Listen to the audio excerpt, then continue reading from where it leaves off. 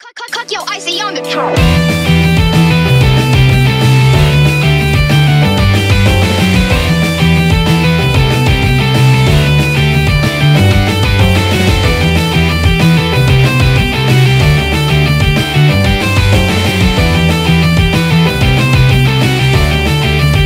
Purchase your track today.